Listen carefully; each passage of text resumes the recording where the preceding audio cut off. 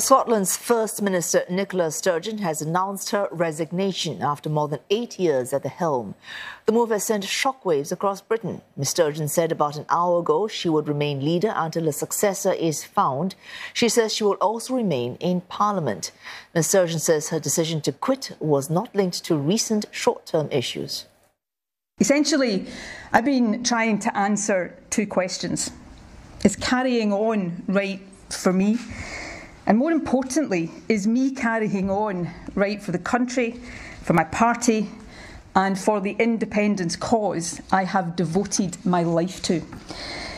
I understand why some will automatically answer yes to that second question.